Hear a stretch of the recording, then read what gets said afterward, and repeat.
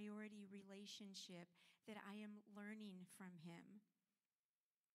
Um, John Mark Comer says that apprenticing under Jesus, and this is actually a paraphrase of Dallas Willard, but that's being with Jesus, being like Jesus, and doing what Jesus would do if he is in your shoes in your time period that He's placed you in to live and serve and share about Him with all the responsibilities that you have, doing what Jesus would do if He were you. And I love thinking of it that way because we're on different seasons and stages of life. I am reading a book to help me grow in Jesus, and it's called Celebration of Discipline. Now, some of you hear the word discipline and you go, eh, because you think of the most negative way, the most negative context of discipline. Discipline isn't just getting in trouble and having a, con- a consequence. Discipline is when you train for something or you practice something. If you want to be good at the piano or working out or a craft, you practice it to get better at it. And what better thing to practice than the things of Jesus, the things that Jesus did. Now, I am going to share with you, and I invite you to ask me how I'm doing as you see me through the year, how I'm doing in the things that I'm practicing so that I can grow in Jesus. Number one is worship not just worshiping at church, but worshiping on my own. Number two is more consistent prayer and more than that prayer in the car. I love prayers in the car. I pray in the car a lot, but more ded- dedicated, consistent prayer that involves not just talking but listening as well. Bible reading. I've been doing some reflective, slow read on Romans 8 and Bible study. And then last, silence and solitude. And for me, this is the hardest. And these are just a few of the practices that we can grow in, that we can practice to be like Jesus. Silence and solitude is the hardest for me. If you know me, I don't really stop much. I'm a doer. I like being busy and I like doing things. So, my goal, I had asked Sylvia to be my accountability on this, is um, three times a week to stop. That's where I'm starting out. And I'm starting out small. I'm going for five minutes. And I want to build on that, but I got to start somewhere, right? So I'm going to start where I'm at. I have some ladies today that are going to share also um, about their journeys. If I can have McKenna and Sylvia come up. They are two of the ladies that spoke at our women's retreat, and they're going to share a bit about what they taught on.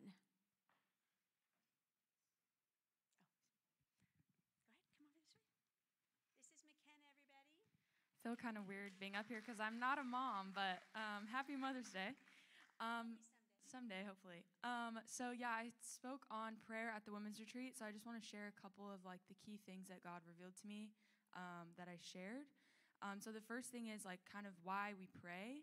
Um, you can't have a healthy, close relationship with someone that you don't talk to. It just doesn't work. And so that also applies to our relationship with God. We can't expect to be in a close relationship with Him if we're not communicating with Him. And um, in certain seasons, it's really easy for me to look at God more of like a genie and to say, like, oh, God, I need this today. Oh, God, can you do this for me today? Um, and while we can petition and ask God for things within His will, that's not the main point of prayer. And so before the women's retreat, I was sitting and asking God, like, okay, if that's not the point, like, what is the point? Like, what, why do we do this? And he said to me very clearly, the point of prayer is communion. And I was like, communion? Like, I don't get it. Like, bread and wine, like, I don't understand. And he said, look up communion. So I did. And this is the definition that I found communion is a sharing or exchanging of intimate thoughts and feelings, a deep and intimate and personal connection and oneness. And my favorite word in this definition was exchange. It's not a one way as we allow ourselves to open up and be intimate with the Lord, He's going to do the same thing with us. And we can see the example of Jesus coming to His Father for connection and oneness too, so many times through the Gospels, where He goes up on the mountain to pray or in the garden before being crucified. And the best part is the exchange. So as we learn to come to God more as our Father in prayer, He will speak to us. And so for those of you who think that the Lord doesn't speak to you or that you can't hear from Him, that's a lie from the enemy because he doesn't want you to have that communication with your Father. And so, in response to those doubts, I would ask you, what loving father refuses to speak to his children? We are designed for that connection, and it's our right and our privilege as sons and daughters to speak to our Father. And we have that direct access to Him. So, my last point is like, God answers our prayers, but He can't answer a prayer that we haven't prayed. And so, when we pray bold and specific prayers that are in line with His will, we have the ability to see Him answer us. And Isaiah 62 says, Give the Lord no rest. So, be persistent and bold in your prayers because the more that we pray, the more we can see God move. And as we pray, angels are sent out. Jesus, when he's in the garden before being crucified, he prays, and an angel is sent to him to strengthen him. So I want you to just understand like the words that you pray have power. You're praying spiritual battles and angels into movement. Um, yeah.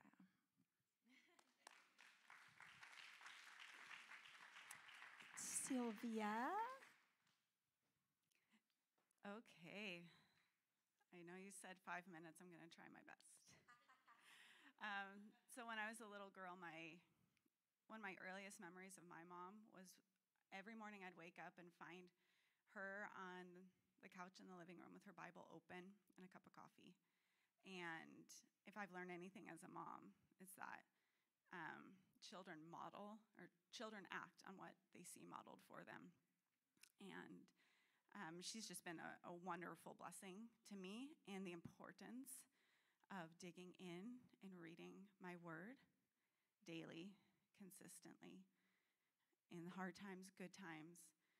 And um, kind of what I shared with the, with the ladies at the women's retreat. We dug into Luke chapter 4. This is where Jesus was tempted by Satan in the wilderness. He, he had just been baptized. He goes up to the mountaintop and he's fasting for 40 days, just spending alone time with the Lord. And Satan comes to him, and multiple times he's tempting Jesus to try and distract him from the ministry. And we see Jesus model for us the importance of God's word in three different ways. The first way, using God's word as a weapon. So each time Satan comes to Jesus with a temptation, Jesus' first words back to him are, It is written. He fought these temptations fully as man. He did not depend on his, on his godhood, his power as the Son of God. He's demonstrating for us how to fight battles, how to fight temptation with God's word. He used a weapon, God's word, so effectively because he understood God's word. So if you think about a master swordsman, or a hunter, they study how to use their weapon hours upon hours, years upon years, to the point that their weapon becomes an extension of their bodies, right? They don't have to think about how to use it any longer. That's how we need to be using God's word. It's an extension of us, it's part of us because we're so familiar with it. Do you know what God's word says? Jesus also shows us in Luke 4 that he viewed God's word as truth. The whole reason he could use God's word as a weapon is because he knew it was true. It's also interesting if you read Luke 4, which I encourage you to do later today, Satan quotes scripture right back at Jesus. Satan knows God's word. That's a little bit terrifying. But if you also look at it, he twists God's word just ever so slightly. So if you don't know God's word, you're going to be distracted by what those whispering lies are. And we also see that Jesus quoting scripture, the reason that it has power over Satan, over temptation, is because Jesus submits to God's word. Satan was just repeating it. Hebrews 2 1 says, Therefore, we must give the more earnest heed to the things that we have heard, lest we drift away. D.A. Carson, he's a co founder of the Gospel Coalition. He says this based on Hebrews 2 1. People do not drift towards holiness. Apart from grace driven effort, people do not gravitate towards prayer, godliness, obedience to Scripture, or delight in the Lord. What we do drift to is compromise, and we call it tolerance. We drift towards disobedience and call it freedom. We drift towards superstition and call it faith. We cherish the indiscipline of lost self control and call it relaxation. We slouch towards prayerlessness and delude ourselves into thinking that we have escaped legalism. We slide towards godlessness and convince ourselves that we've been liberated. Jesus shows us that God's word is truth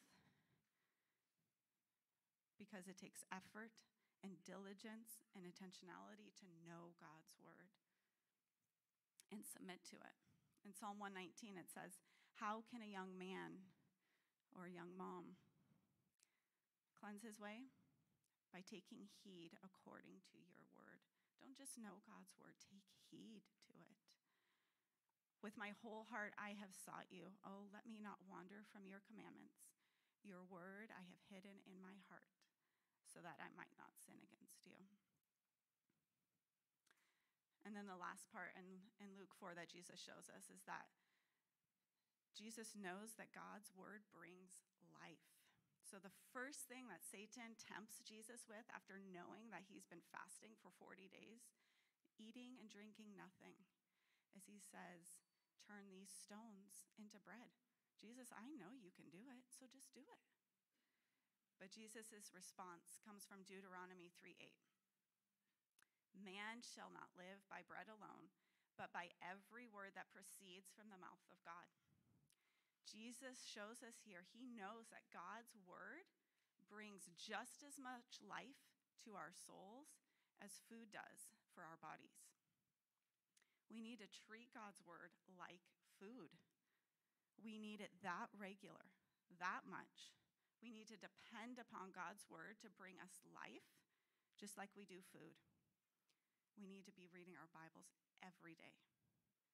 Because the world that we are living in, we know we're just marinating in a world that's so anti God that if we're not giving ourselves a bigger influence, that we are going to be slowly starting to believe the lies of the world.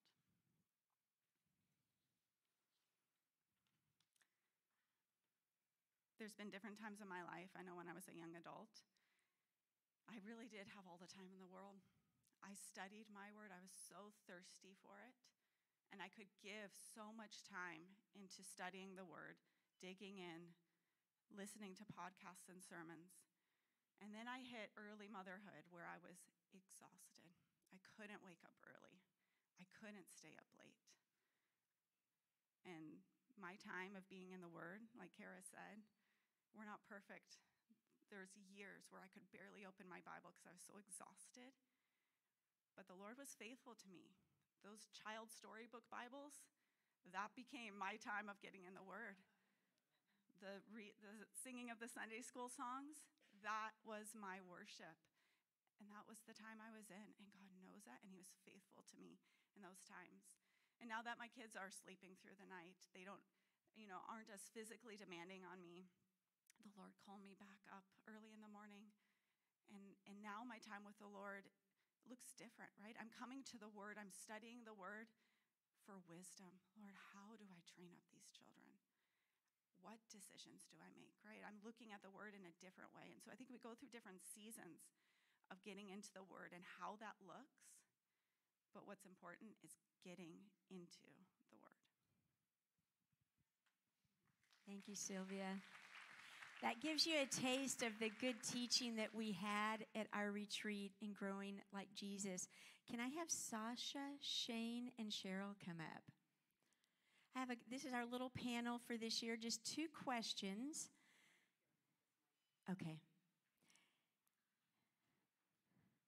And I hope that you're inspired. It's like, what can you do different when you go home today to grow in Jesus?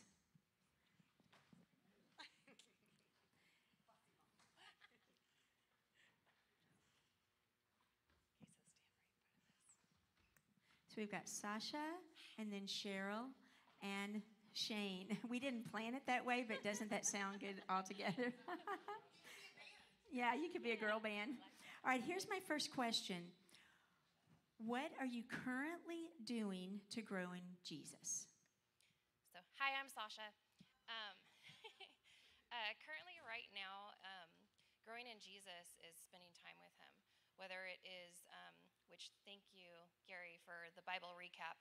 Me and Sarah, which Sarah is flying back from Texas today. Hi, Sarah.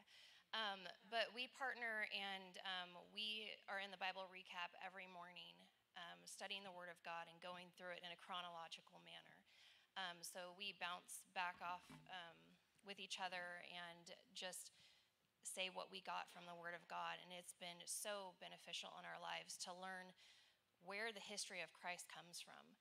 In the in the Old Testament, how do you get here? It seems so scary when you know growing up that it was it made it seem like Christ was something scary or God was something scary, and it really wasn't. It shows his steadfast love when you are looking at the whole entire word of God. And I thank you for Sylvia in sharing that because if we're only in the New Testament, you only see a glimpse of how good God is. But when you're studying throughout the whole thing, you realize and you have a depth and an understanding of his relentless, steadfast love for you. And so, Gary, thank you for that. That's, that's one way. And then also, um, Cassandra's not here, but uh, we had um, at the women's retreat, she had talked about um, going and soaking with Christ and being alone with him and how Christ um, constantly went alone to be by himself with the Father. And so I had done that, but hadn't done it as much. And so I've really gotten to make time to get alone with Christ and really just pray and listen and listen to what he's asking me to do. And so that's been very beneficial for me is just being alone with him and to really pray and to soak in, in who he is and his creation that he created for all of us. So that was me.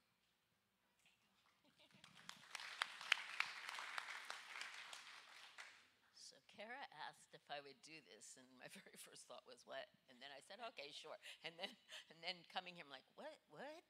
Was I like why?" Yeah. anyway, I just want to encourage people that I, I definitely am not perfect. What I'm doing to grow in Christ, slowly, getting to a place to read my word. I, just, I think most of you know, my mom passed very recently, and I realized at the women's retreat that really caused me to kind of draw back. I was desperately wanting to hear my mom say that she had accepted Jesus before she passed, and I didn't get to. And I know people have tried to comfort me and say things, but the truth is, I don't know that 100% whether she did. And so I think that made me kind of draw back. But anyway, so um, I do. Our little alpha group is still meeting. We keep meeting, so I do that on Thursdays, encouraging. But I've been in a um, Bible study group since 2016. It's not affiliated with any church. It was actually a gentleman started it because he was challenged as the patriarch of his family. What was he doing? And so he started this Bible study. Now I don't even know. I think one of his family members is still in it, but it's just different people. And so I'm learning something which may seem so simple, but I used to just like read the word and wouldn't consider that these were real people. It was real stuff that happened. So now what I try, because it helps me in my daily life, to just, I don't even know how to explain it, but it's that it's real. And those people were real. And as you think, I mean, I knew the Old Testament and I knew how it tied in. Thankfully, the first church I grew up in spiritually, um, had a Bible college. They were very like, oh, you, you've got another word. But anyhow, so uh, that was always pointed out the connections. And I guess they're called the theophanies, whatever, of where Jesus um, appears in the Old Testament or a type of Jesus pointing to him. So I kind of knew all of that, but never really thought about real people. So to know that those were real people going through things helps me and my, my walk and connecting with God. And um, my brain went on, where's Sylvia? My brain went on a complete whatever. Your sister in law? who's now in Tennessee, she said something once that I really felt challenged by is that throughout the day she talks to God. I mean, literally, not just like, but out loud. So that's something I'm trying to put in practice to talk to Him because, yeah, you have that special time, but throughout the day, there's ways that He's talking to us. And if we get into the practice of doing that, we'll be more attuned. Said his sheep know his voice. And that's, anyway, that's what I'm going.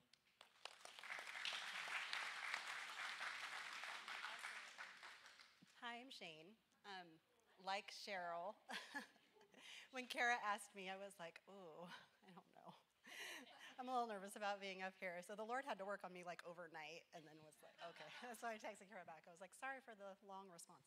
Um, so really interestingly, some of the things that were being said up here were like really confirmed in my heart as I was thinking about this this week. And recently, um, for me, the Lord has really been working on very similar things, spending time with Him.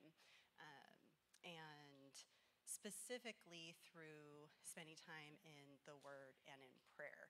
I'm really good about worship. That's like not a struggle at all.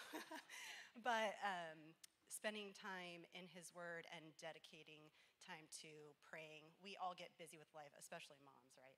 But um, but really just confirming exactly what McKenna said was he just was like, How can we be close if you're not spending time with me? It's just like our worldly relationships. Like, we cannot, you can maintain friendships with someone you haven't spoken to in six months, but they're not a close friend if you haven't spoken to them in six months.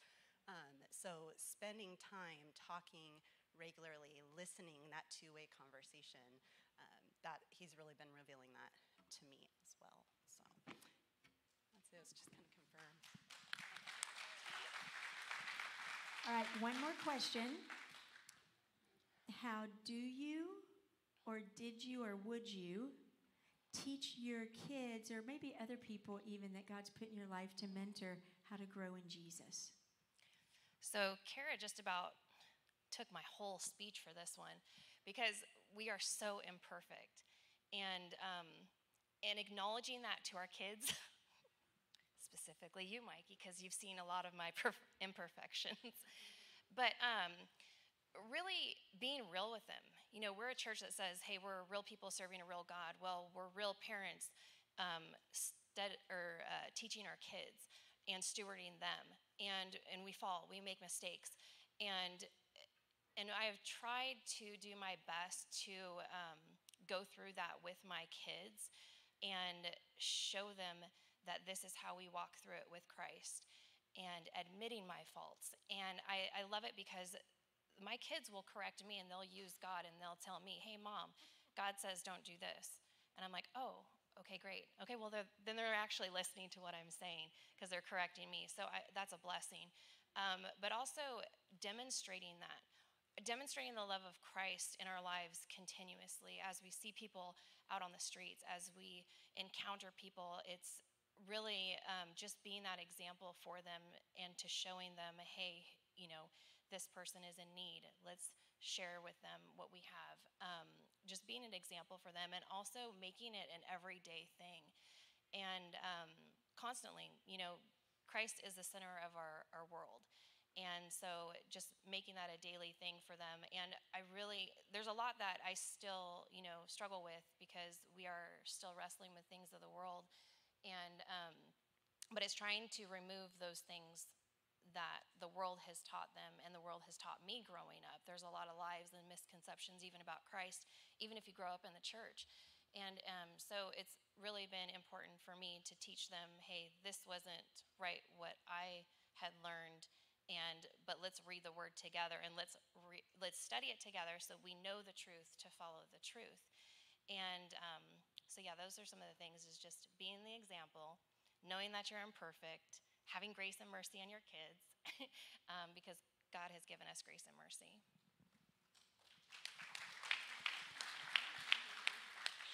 I'm really sure what to say after that because that's kind of um, the thing I would say as a grandmother who my children are now growing and out of the house. I was talking with my daughter coming up about I don't on a daily have regrets now, but I look back And one of the things that I think I would do and hope I can still impart, but if I were to be discipling somebody, I think I would really emphasize the personal relationship with a real God. I feel like I did things when my children were growing up. We would go to prayer, we would be in church all the time. Um, my daughter and I would dance together. We had done dances for the church. Um, just a lot of things we were doing, but I'm not sure I really, truly introduced them to who the one true God is. That personal relationship as to why you want, sorry,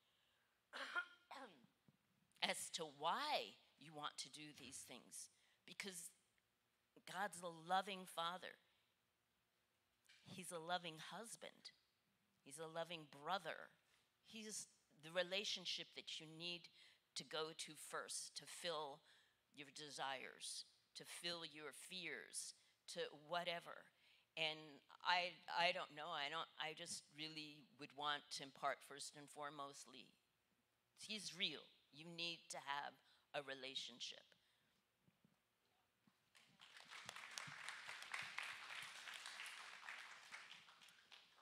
So first of all, I did not grow up in a Christian home. I love my. I grew up with divorced parents, and um, and we have great close relationship. But the first, sorry, the first example of godly parents I had were my parents in love who are here today. Sorry.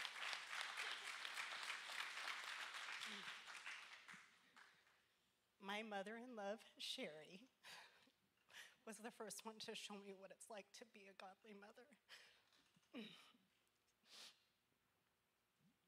Thank you. Sorry. So we raised our children in church, but um, we always really emphasized with them that it was a personal relationship with Jesus. Um, of course, when they're little, you kind of have to force ki- church on your kids because you're coming. You, like you're four, you can't stay home. Um, but um, so we raised them in church, but we emphasized that personal relationship with Jesus. And then at really young ages, they wanted that. That was something that they chose for themselves. And um, it's not any credit to me. it's not any credit to Jake. It's credit to the Lord for sure. Um, but that, I think that that is really what created kind of the, the people that they are and the heart they have for Jesus. Um, there were times that Jake and I both went through, sometimes at separate times, sometimes together. Dry spells is what I call them. um, and our children, because of their relationship with Christ, encouraged us. And they were like, we're going to youth group, we're going to church, we're going to Bible study, you know, and that that encouraged us to keep going when we were at a point just we would each be at a points where it was just like we're tired or whatever it was but um, but it was through that personal relationship that really just continued to encourage us and i, I feel like that was just such a blessing from the lord um, yeah that's it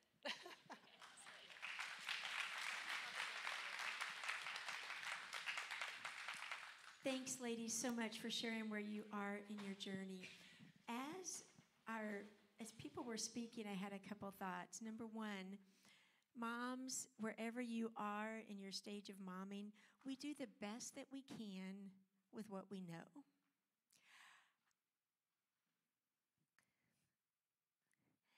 If I had known as a young mom things I know now, there's some things I would have been done different and been more intentional about. But I give myself grace. I know my kids give me grace.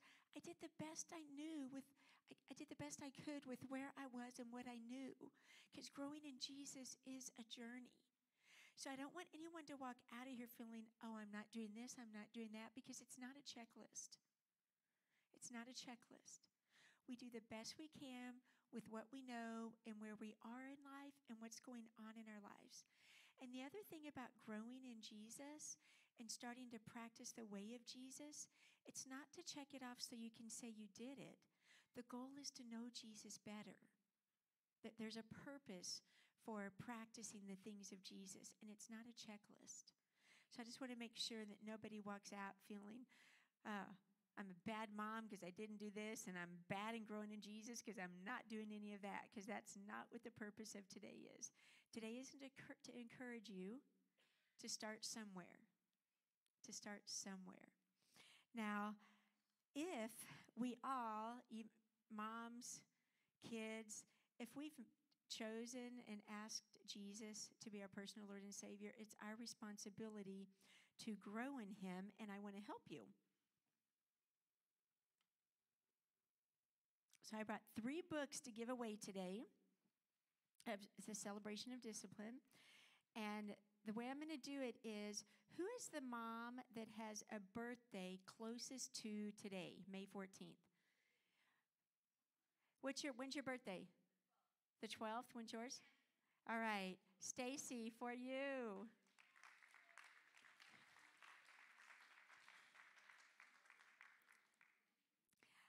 Who is a mom that has an anniversary closest to today?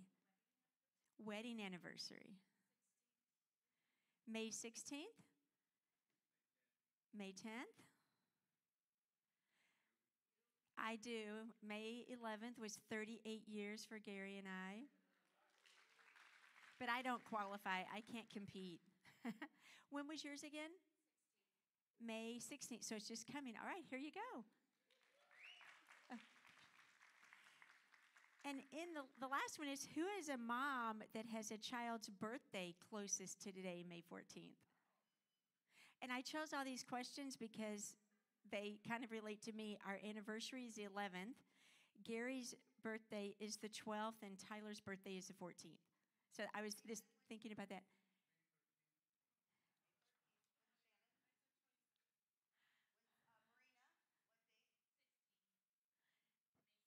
Okay, so which one was closest? 13th? Awesome. All right, moms, my prayer for you today is that you get rest, that you feel blessed, and that you seek more of Jesus. Thank you, Jerry. Such a beautiful job. Okay, so we have a gift for you moms today, and basically, women, let's say 18 and above, if you want one of these, uh, just because we already made the list of even if you wanted to be a mom or things like that. So we just have a gift for women today. So there's about 50 of these. They're garden gloves and they're seeds so you can plant some plants, which I'm terrible at. So I made sure that the gloves are green so that plants think that you have a green thumb. oh, so tricky, tricky. okay, so I'm going to read this to you because this recaps what we just learned today. Actually, I'm going to do a little interaction like Rob does. What are the three things that flowers need to grow? Water, sunlight, and soil. I'm so impressed. Grown up children, you did good. well, those are the three things you need to grow in Christ. Here we go. Uh, this is 2 Peter 3 says, Grow in the grace and knowledge of our Lord and Savior, Jesus Christ. So I'm going to ask that you plant God's word in your heart, water by pouring out your prayers to God, and shine like sunshine uh, with your worship. That's the three ways to grow in Christ as a human. So today has been amazing. I love Mother's Day. As we close out, I'm going to have the worship band come back up, our sweet young people worship band today. Uh, you can take pictures over at the picture booth. And right now, as they are leading us in worship as we close out. We are going to open the prayer station. So, Pastor Rob, some of the elders will be over there. If you want to go pray for your children, moms, this is your chance. It would be great. You want to add something? Oh, um, so if you want to go pray for your children, maybe I know some children are in the uh, faraway lands of America or across the seas. Maybe you have a child that doesn't know God or has run away from God, even though you tried to grow them in that way. Whatever you want to pray about, we are here for you during this worship set. We can have prayer and over in this corner. And we just love you guys too. So, everybody, please stand and let's worship.